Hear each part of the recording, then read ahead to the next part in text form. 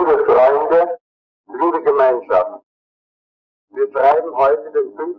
Juni 1957. Herr Gröning ist noch hier und er hat es sich nicht nehmen lassen, uns noch einige belehrende Worte mit auf den Weg zu geben. Herr Gröning glaubt, dass diese Worte reichen werden bis zu seinem Wiederkommen. Wir hören Herrn Gröning.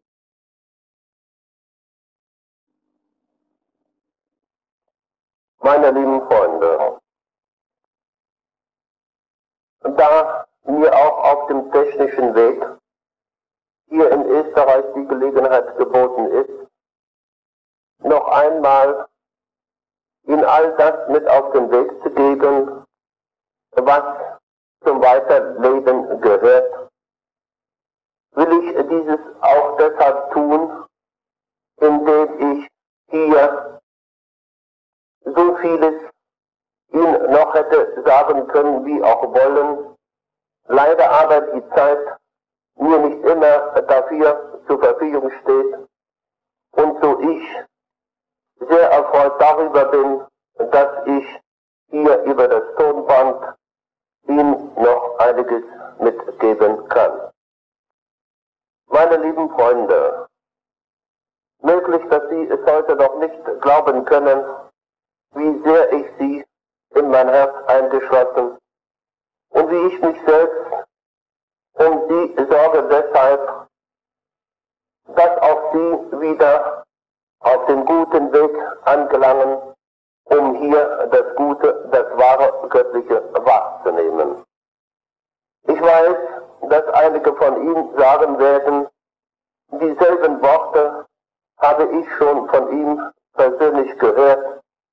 Und ich weiß schon, dass das richtig ist, denn ich habe das auch als das Richtige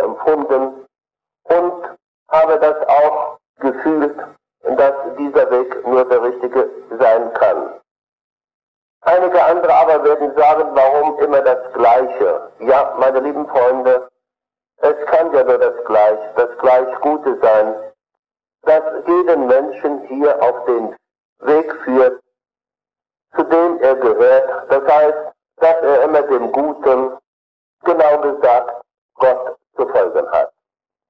Und er wird sich da dann auch wirklich wohlfühlen.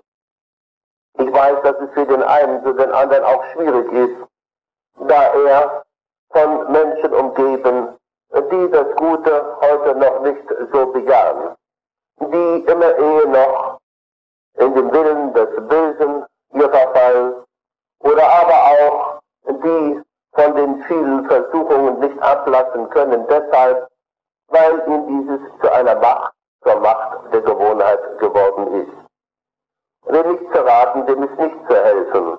Aber alles, meine lieben Freunde, braucht wirklich seine Zeit. Das heißt, die Zeit ist ja die Zeit, die Gott für uns so bestimmt hat. Genau gesagt, damit es gleich wissen und nicht vergessen, die Zeit ist Gott selbst, in der wir leben. Es kommt jetzt nur darauf an, wie der eine oder andere sie zu beherzigen weiß, wie der eine oder andere sie in sich aufnimmt, so er das Gute bejaht, wird er es auch in sich fühlen und er wird da dann auch ein lebensfroh bejahender Mensch sein. Und so will auch ich heute die Zeit voll und ganz nützen, um ihn, meine lieben Freunde, noch mehr mit auf den Weg geben zu können. Die Zeit darf nicht ungenützt sein. Wir dürfen sie nicht vergeuden. Wir müssen alles dazu tun, das heißt, uns von dem Bösen befreien, genügend gute Kraft aufnehmen, so dass wir die Zeit für uns auch richtig nutzen können. Ich möchte noch einmal betonend sagen, damit Sie das nicht verkennen. Die Zeit nützen heißt Gott nützen all das wieder in uns aufzunehmen, was zu uns gehört, was Gott für uns, auch für unseren Körper bestimmt hat. Und das Unbestimmte aufzunehmen, das hat jeder von ihnen allen doch wirklich schon wahrgenommen am eigenen Körper. Dass er sich da dann nicht wohlfühlte und er hernach von sich zu seinen Nächsten gesagt, ich bin krank. Ja, meine lieben Freunde, das ist die Krankheit. Das Unbestimmte, das in sich aufzunehmen, was für uns von Gott nicht bestimmt ist. Aber ich glaube auch hier sagen zu können, dass sie aus all diesem die richtige Lehre gezogen haben. Und gerade deswegen kann ich nur jeden meiner Nächsten bitten, die Zeit wirklich gut zu nützen, sie nicht ungenützt lassen und nie das Gute anzweifeln. Und vor allem, was ich ihnen noch weiterhin auf den Weg geben will, nie dem Bösen folgen, nie in dem Willen des Bösen leben. Und wenn ja, dann werden sie immer böse Gedanken erhalten und die sie ja dann auch in der Tat umzusetzen haben. Wehe dem, der nur in dem Bösen lebt. Der wird sich nicht wohlfühlen hier auf dieser göttlichen Erde. Er wird sich verfolgt fühlen und wird da dann all das, was er in sich aufgenommen hat, immer wieder seinen Nächsten übertragen.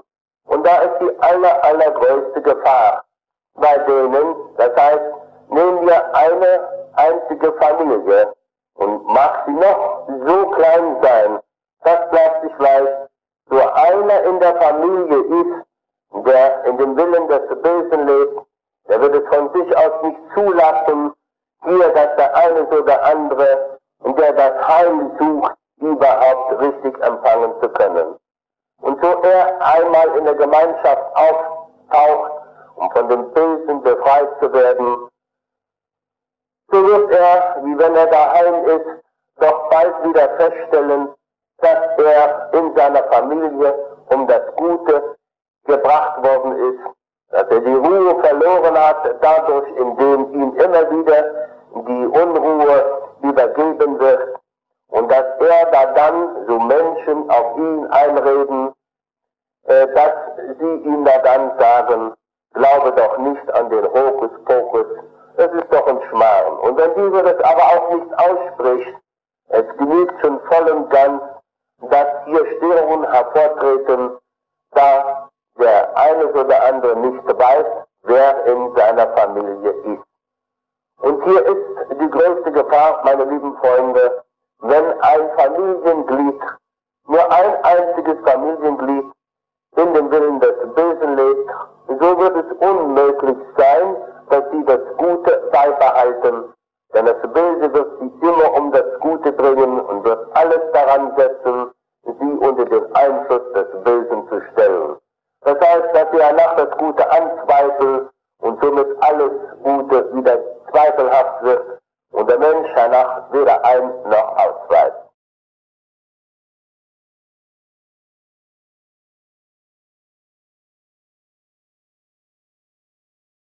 Ich weiß, dass Menschen sich schon drüber gewundert haben, wie es bei dem den anderen, der das Heil an seinem Körper erfahren, dass es beigeblieben ist, auch wenn er es schon vor Jahren erhalten hat. Er sorgt auch dafür, dass seine Umgebung immer in bester Ordnung ist. Dieser Mensch hat seine Pflicht getan, indem er all seine Nächsten das zu wissen gegeben, was er an seinem eigenen Körper wahrgenommen hat. All das, was er wahrgenommen, einst die Unordnung Gefühle hat er da dann seinen Nächsten weitergegeben. Er hat die wahrheitsgetreu so geschildert, wie er sie wirklich wahrgenommen hat.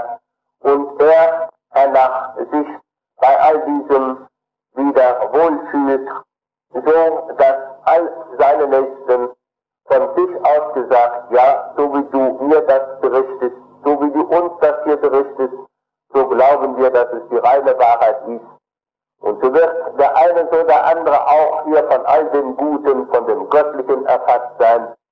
Und er wird sich dann auch wohlfühlen.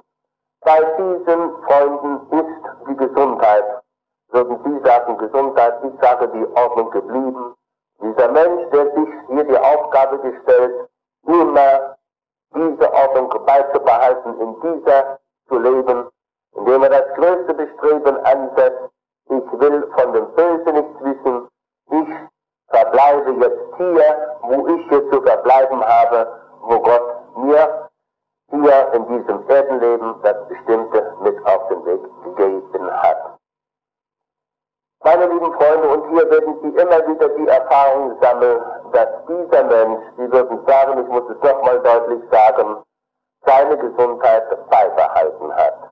Und bei dem anderen, bei dem sie nicht verblieben ist, ist der Grund alleine darin zu suchen, dass doch einer, ein Familienglied noch in seiner Familie ist, der immer wieder den Willen des Bösen aufgenommen, in diesem gelebt und von da aus dieser dann zum Bösen wieder geführt hat. Sie selbst in Zweifel hier gebracht hat, so dass sie danach da gezwungen waren, Zweifelhafte doch aufzunehmen. Sie fühlten sich nicht stark genug, um sich hier selbst behaupten zu können. Und dazu aber dient jetzt hier die Gemeinschaft, meine lieben Freunde, der Sie ja angehören. Und Sie können hier von sich aus sagen, es ist ein großes Glück, dass ich die Gemeinschaft angehören kann.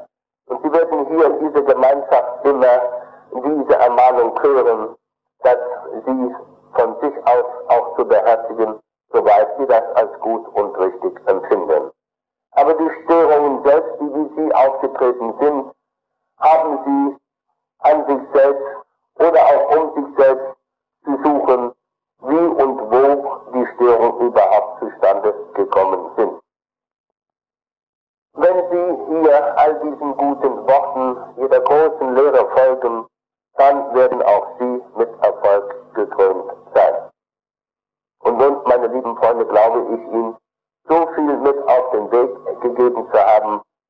Sie mit dem nicht mehr was, sondern das auch anzufangen wissen.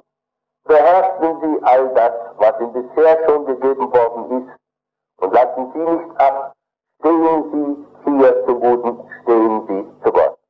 Nicht, dass Sie von sich aus nur so das übergehen und sagen, so äußerlich, ja, ich glaube, ich bin doch ein Christ, ich gehe doch zur Kirche, ich tue doch all das, was Menschen nur möglich ist.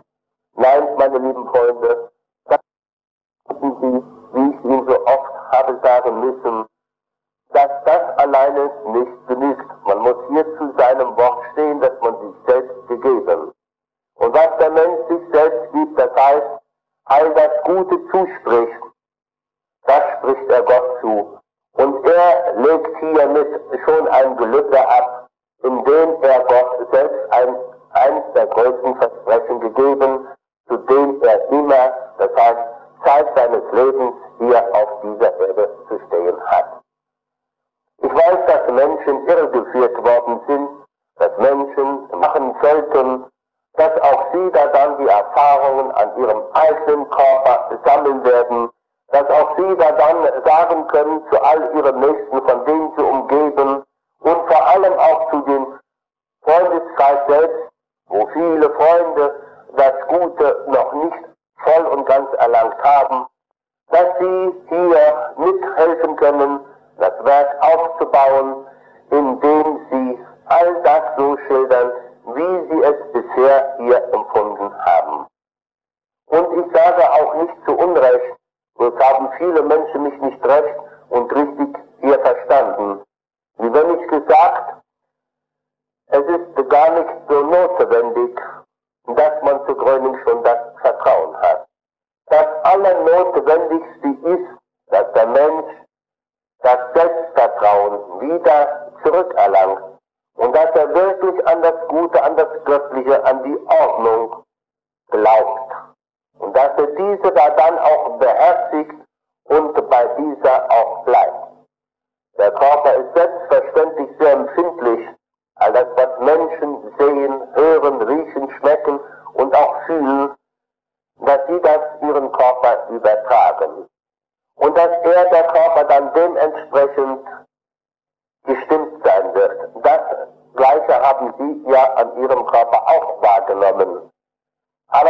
es auch so, meine lieben Freunde, wenn der Mensch dem Bösen folgt, wie er das noch an seinem Körper wahrnimmt, dass er das kranke Gefühl feststellt oder aber auch, dass er Schmerzen ausgesetzt ist, so wird er nie freikommen, solange er das Böse verfolgt.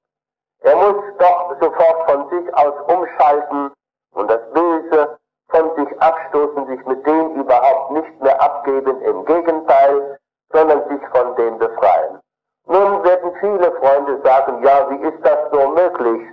Die Schmerzen, ja, die spüre ich einfach. Und die Beschwerden, ja, das stelle ich ja auch fest, ich kann weder das eine noch das andere tun, ich kann kaum noch meinen Körper bewegen, oder ich kann ihn wenig hier zu dem bewegen, zu dem ich ihn gerne bewegen möchte. Ich kann meinem Körper weder die eine noch die andere Nahrung zuführen. Dann habe ich Beschwerden und so weiter und so fort. Also kurz gesagt, der Mensch fürchtet sich, er hat keinen Lebensmut mehr, er spricht sich all das ab und weiß nachher weder ein noch aus. Also, meine lieben Freunde, nehmen Sie die Schuld wirklich auf sich, seien Sie offen und seien Sie ehrlich zu sich selbst. Nicht, dass Sie die Schuld immer auf einen zu den anderen Ihrer Nächsten werfen, indem Sie von sich aus sagen, der ist nur schuld, dass es mir heute so geht. Und genauso will ich auch sagen, wie viele, viele Menschen durch die Erfahrung gesammelt, die selbst ihren Arzt die Schuld zuschreiben.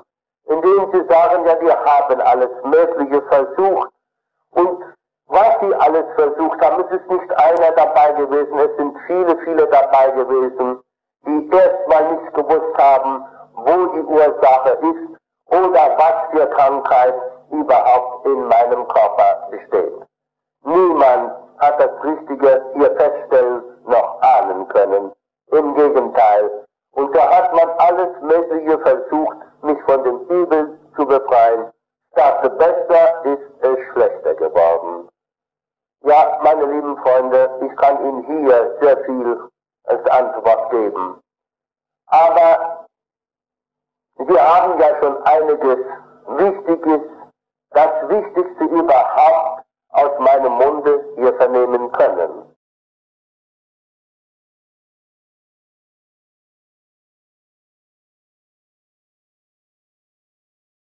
Und was aber das Wichtigste ist, will ich Ihnen jetzt gleich hier sagen. Sie sind dem böse geworden, der alle möglichen Versuche angestellt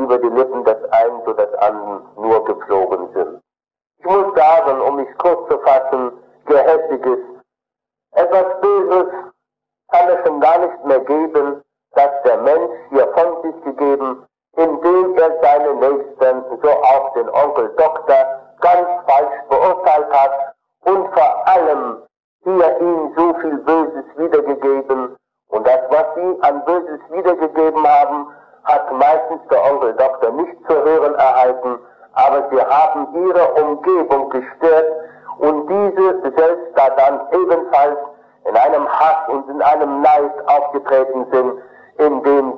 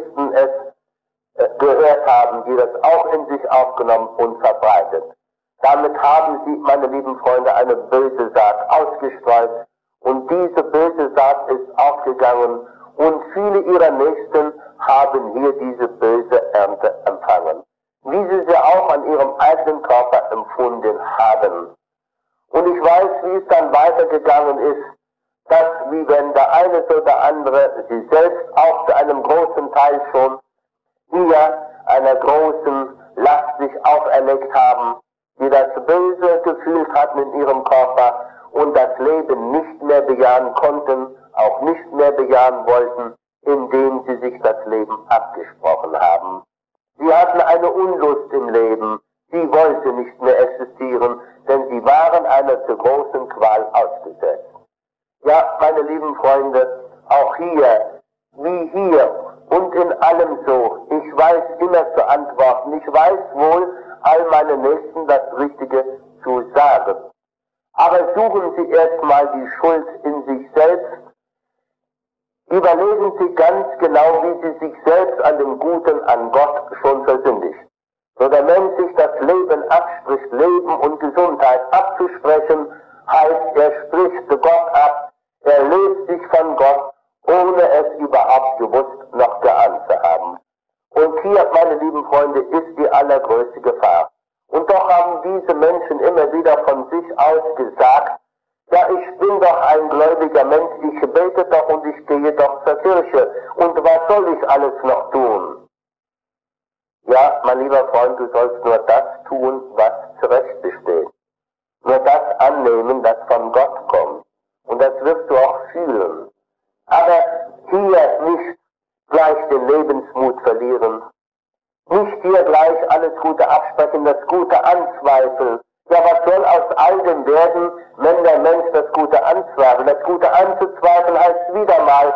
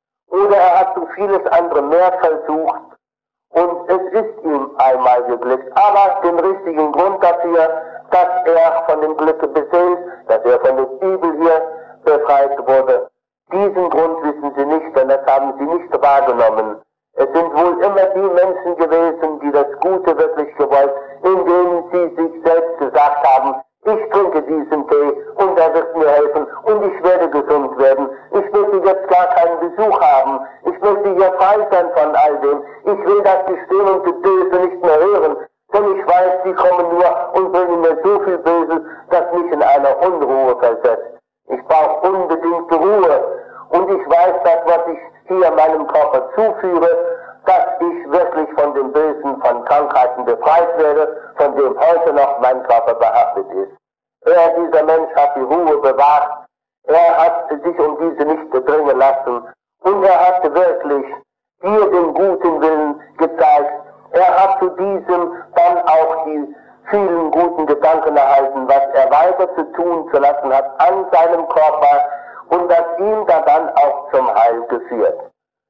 Ich weiß, meine lieben Freunde, dass viele Menschen mit dem nicht fertig werden können, indem sie das selbst ansprachen sagen, ja, kann das so sein? Ist das überhaupt möglich, dass ich dadurch von dieser, von meiner Krankheit, wie er von sich aus immer wieder behauptet, frei werden? Das heißt nicht von meiner Krankheit oder von meinen Schmerzen, sondern von dieser einen oder der anderen Krankheit, von dem der Körper, mein Körper behaftet ist von den Schmerzen werde ich auch frei werden, denn sie werden schwinden, wenn ich mich mit diesen nicht abgebe.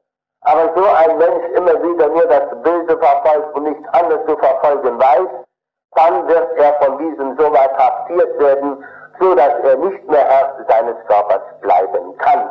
Also mit ihm ist er dem Bösen ausgeliefert. Und immer wieder muss ich fragen, warum wissen Menschen das alles nicht mehr?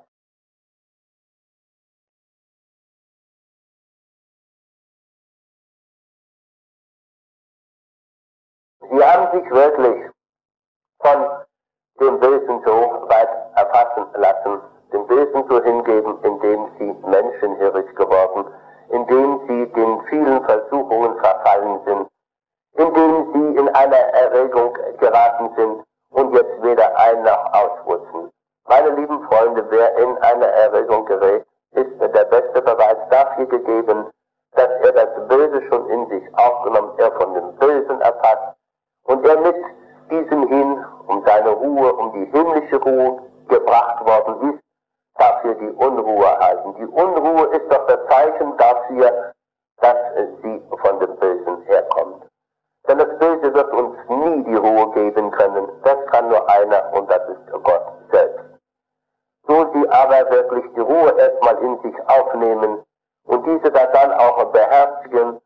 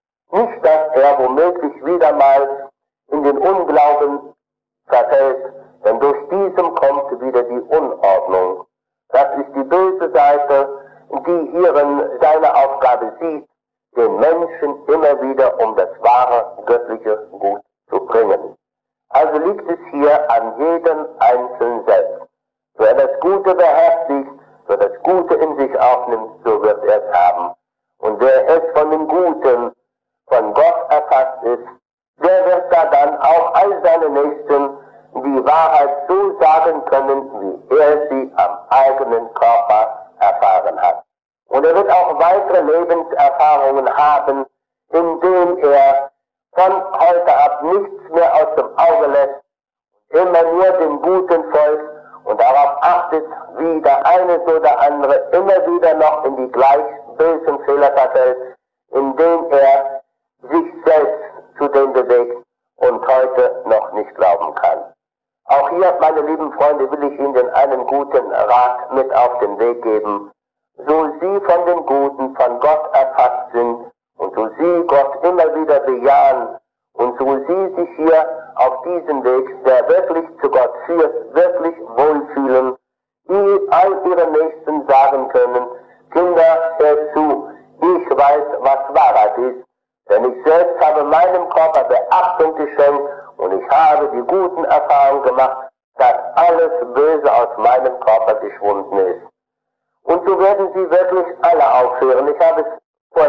Einmal hier gesagt. Werden sie alle aufforschen und werden sagen, ja, so die uns die Wahrheit gesagt hat, wirst du jetzt nicht glauben, dass auch ich schon die Wahrheit an meinem Körper wahrgenommen, wo ich ihn soeben wirklich Beachtung geschenkt habe, habe ich diese und jene Gefühle an meinem Körper wahrgenommen. Und vielleicht wirst du mir das nicht glauben, dass ich von allen Beschwerden jetzt schon mich ganz, ganz frei fühle. Ich fühle mich so wohl, so leicht, so beschwingt. Glaubst mir, du lieber Freund, das sagt dann der, der erst der Hörer war. Nun, meine lieben Freunde, und so greift es doch weiter um sich. Es gibt vieles, das nicht erklärt werden, aber nichts, das nicht geschehen kann. Gott ist kein Ding unmöglich.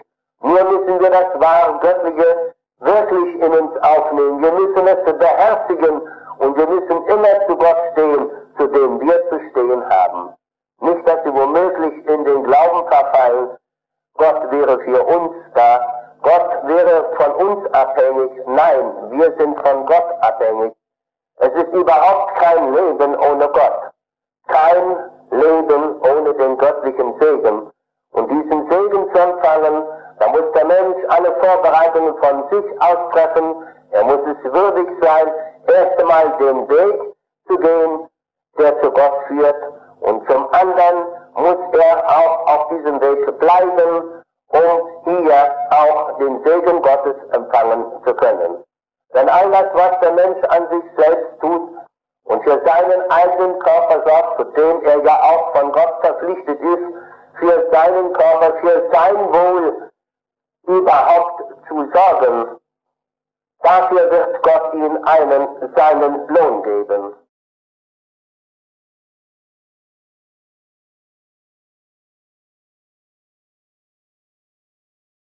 Und der Mensch wird da dann von sich aus sagen, ich habe alles Gute getan, ich habe mich nicht erweichen lassen und das Böse habe ich niemals mehr in mir, in meinem Körper aufgenommen. Ich habe mit dem Böse nichts gemeint. Ich habe mich endgültig von all dem losgesagt, was ich an Erfahrung gesammelt und auch wahrgenommen, dass ich heute unterscheiden kann, was gut und böse ist. Und hier wird der Mensch da dann weiter diesen Weg gehen, so weit gehen, bis Gott ihn selbst empfängt und ihm auch hier einen, seinen Segen erteilt. Und somit ist der Mensch schon in einer viel, viel höheren Sphäre überhaupt geraten, indem er sich da dann verpflichtet fühlt, ich habe das Heil an meinem eigenen Körper erfahren und ich habe immer den Wunsch gehabt, meinen Nächsten zu helfen. Früher habe ich nicht gewusst, wie das möglich ist. Ich habe auch die Kraft nicht wahrgenommen, ich habe sie nicht verspürt, sondern im Gegenteil, ich war immer schwach. Es war wohl mein Wunsch, ihm den Nächsten zu helfen, aber ich habe nicht helfen können und daher war ich auch selbst in den Versuchungen gefallen, alles Mögliche dazu zu tun, ihm nur zu helfen. Damals habe ich es nicht gewusst. Heute aber weiß ich es. Heute habe ich genügend Lebenserfahrung gesammelt. Heute weiß ich, wie und dass es überhaupt auch möglich ist. Und so wird er weiter hier von sich sagen zu all seinen nächsten Freunden, liebe Freunde, glaubt mir, auch ich, das heißt, mein Körper war abgebaut, er war größte Schmerzen ausgesetzt und ich war dem Bösen schon ganz verfallen, ich konnte nicht mehr glauben. Bis ich da dann eines Tages einem Menschen begegnet, der mir die Wahrheit sagte. Und ich habe daran geglaubt, ich habe das empfunden, dass es die reine Wahrheit gewesen ist. Und von da ab begann ich an mein Selbst zu glauben. Von da ab wusste ich auch, was ich meinem Körper schuldig bin, dass ich all das wieder gut zu machen, was ich ein schlecht gemacht wo ich doch viele Jahre meinen Körper in Vergessenheit gebracht, indem ich hier in dem Glauben lebte, ich könnte ihn nur so nützen, und er wäre eben dazu bestimmt, er muss es aushalten, und der Körper muss es schaffen. Es genügt doch, wenn ich ihn Essen und Trinken zuführe, und dann hätte ich doch alles. Und wenn ich krank werde, naja, dann gehe ich eben zum Arzt, und dann versuche ich wieder, das verloren gegangene, meine Gesundheit wieder zurückzuerlangen. Ja, meine lieben Freunde, wenn der Mensch so gleichgültig ist, dann wird es auch so werden, wie er ist. Aber hier, der wirklich aus dem Freundeskreis die Erfahrung selbst gesammelt, wie ich schon sagte, wird es seinen Nächsten übertragen. Er wird ihm zu sagen wissen, was Wahrheit ist. Und das ist immer richtig so. Hiermit geht der Mensch erst seinen Weg, den er zu gehen, wie Gott ihn für ihn bestimmt hat. Aber nicht nur für den einen, sondern für allen hat er es bestimmt. Folglich muss jeder Mensch wissen, was Wahrheit ist. Folglich muss jeder Mensch diesen Weg selbst gehen. Wenn nicht, wenn ein anderer für ihn den Weg gehen könnte, dann wäre das ja unzweckmäßig überhaupt, dass Gott jedem einen seinen Körper gegeben hat, indem er sich frei auf dieser seiner Erde bewegen kann. Und Gott hat jedem Menschen belassen, das heißt, einen Willen gegeben, der selbst entscheidet, ob gut, ob böse. Es fragt sich nur, ob er schon genügend Erfahrung gesammelt, so er aber das Böse wahrgenommen und von dem Bösen, der erfasst worden ist, so wird er sich von dem Bösen abwenden, indem er sich selbst sagt, ich will mit dem Bösen nichts mehr gemein haben. Und noch einmal muss ich sagen, dass dieser Mensch da dann auch zu seinem Wort steht, dass er sich selbst gegeben, sich selbst gegeben heißt Gott gegeben, dass er das niemals vergisst und immer wieder auch hier in der Tat umsetzt. Also das heißt, dass er sich nie dazu bewegen darf, auch wie wenn er unter Einfluss all seiner Nächsten gestellt wird. Und wenn es auch hier auf dieser Erde sein Brötchengeber ist, doch darf er dem weniger folgen, er hat nur einen zu folgen, der ihm ein Erdenleben hier geschenkt zudem auch seinen Körper. Er selbst ist es, meine lieben Freunde, der für das Wohl seines Körpers überhaupt zu sorgen hat. Er selbst muss all das in sich aufnehmen, was Gott für ihn bestimmt hat. Das Wie wird ihm schon gesagt werden, wenn er nur den guten Willen hat. Das heißt, dass er mit dem Willen Gottes gleich ist dass er jetzt erkannt hat, was Gott mit ihm vorhat, wozu Gott ihn bestimmt und was und wie der Wille Gottes überhaupt ist. So er den Willen Gottes erfasst, ihn in sich aufgenommen und beherzigt, da wird er die guten, die wahren göttlichen Gedanken erhalten und er wird sie da dann in der Tat umsetzen. Bisher hat ein Mensch noch niemals das Unrechte getan, so er das Gute bejaht, wo er sich selbst dann dazu bewegte, um all das in sich, in seinem Körper aufzunehmen, wo er da dann das Wohl empfunden, wie er zu Anfang Gefühle wahrgenommen hatte an seinem Körper, dass er sagt, diese Gefühle sind mir fremd, gebe ihm zur Antwort fremd geworden.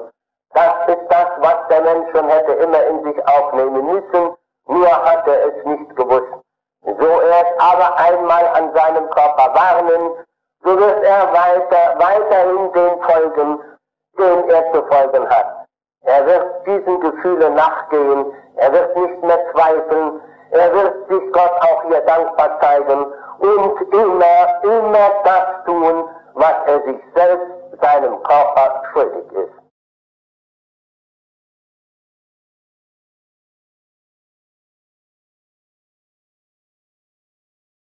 Also meine lieben Freunde, Sie werden auch hier wahrnehmen, was ich hier überhaupt immer nur den Menschen anraten kann und was ich ihm überhaupt zu sagen habe, so dass er erstmal weiß, was das Leben, Leben ist Gott, was das Leben ihm sagt, was das Leben für ihn bedeutet. Und es gibt ein so schönes, wundervolles Sprüchlein, wie Menschen es so oft sagen, jeder ist seines Glückes Schmied. Und wenn ein Mensch mit diesem nichts anzufangen weiß, dann will ich es ihm hier sagen. Er selbst schmiedet sich sein Glück, er selbst schmiedete sich sein Unglück, von dem er nicht wusste, dass er selbst es ist. Und so ist dem einen zu dem anderen wieder heute gut geht, dass er das Wohl wahrnimmt, dass er es fühlt an seinem eigenen Körper, so dass er, der Körper, beschwerdefrei ist, so kann er sich das vorerst selbst zuschreiben, indem er sagt, ich habe das Gute gewollt, ich hatte es nötig, ich war von dem Bösen erfasst, mein Körper reagierte nicht mehr, ich musste da meinem Körper gehorchen. Aber hier habe ich einmal die Wahrheit gehört, ich habe sie auch gleich an meinem eigenen Körper empfunden. Empfunden, das heißt, meine lieben Freunde, das ist immer nur so gewesen, so der Mensch einmal die Wahrheit wahrgenommen und wenn er sie nur gehört hat, hatte er gleich das Empfinden in seinem Körper, dass sich da etwas zeigte, das ihm fremd gewesen ist und er das noch nicht für wahrhaben konnte, aber er von dem nicht abgehen konnte, indem er sich selbst sagte, es ist so ein eigenartiges Gefühl, es ist so komisch. Und doch gehörte das zu ihm, von dem er nichts mehr wusste. Es wurde ihm gesagt, dass das das Gute ist, dass er hier die Verbindung wirklich zu Gott wieder zurückerhalten hat. Ja, meine lieben Freunde, und wie soll ich es Ihnen noch weiter klarlegen? Was hätte ich hier überhaupt noch zu sagen? Es ist immer nur so gewesen, wenn auch der eine oder andere Körper vom größten Übel erfasst worden war, dass Menschen ihn aufgegeben ganz aufgegeben, indem sie sagten, da kann ich und da können wir nichts machen. Menschen, die auch gesagt haben, es sei unheilbar. Oder sie werden dies, sie werden das, sie werden jenes haben. dass Es unmöglich sei, dass sie von diesem Leiden, von dieser Krankheit überhaupt geheilt werden können. Und somit baute der Mensch es recht ab, indem er sagt, mir kann kein Mensch mehr helfen. Und so verzagte und klagte er, indem er sich selbst verloren gesehen und all seine Nächsten gesagt, ich fühle mich jetzt ganz verloren. Ich sehe nicht, dass man mir noch eine Hilfe geben kann. Ich bin jetzt ganz hilflos. Damit hat er seine Nächsten mit abgebaut. Alle fingen sie an zu zweifeln und sie konnten selbst auch nicht mehr glauben. Aber wer hat das mal wahrgenommen, dass wir Menschen doch alle auf einen angewiesen sind, der wirklich all das kann, was er für uns bestimmt hat. Er ist der Schöpfer hier dieser Erde und aller Lebewesen, zu dem auch wir gehören. Wer hat sich wohl auf Gott besonnen? Wer hat wohl für sein Sein, für sein Selbst gesorgt? Wer hat mal daran gedacht, statt das Böse jetzt das Gute zu erlangen? Wie er das Böse erlangt, darüber ist er sich heute noch nicht im Klaren. Aber er müsste sich heute doch soweit im Klaren sein, indem er selbst zugibt und von sich aus sagt, ja, ich habe die Krankheit, ich habe das Böse verfolgt ich habe nicht mehr glauben können, ich war die größte Qual ausgesetzt. Und warum habe ich nicht Gott ersucht, mir mein verloren gegangenes Göttliches wieder zurückzugeben? Warum habe ich es mir nicht verdient gemacht? Warum habe ich gezweifelt? Warum habe ich mich selbst aufgegeben? Warum habe ich mich überhaupt verloren gesehen? Ja, meine lieben Freunde, es ist nicht schwer, es ist sehr leicht, wenn der Mensch nur das Rechte, das Richtige weiß und wenn er das auch da dann in der Tat umsetzt. Also ab sofort, meine lieben Freunde, nicht mehr dem Bösen folgen, so dass sie sich von dem Bösen lösen und dass sie jetzt das Gute auch wirklich annehmen, so sie ihrem Körper ab sofort wirklich Beachtung schenken, dann werden sie es wahrnehmen, was sich alles so an wie in ihrem Körper zeigt. Und zweifeln Sie das jetzt nicht an, verfolgen Sie das Gute, wie bisher Sie das Böse verfolgt haben. Und ich glaube jetzt, dass ich es Ihnen sehr leicht gemacht habe, dass Sie das jetzt wirklich so erfassen können und dass Sie das so in sich aufnehmen,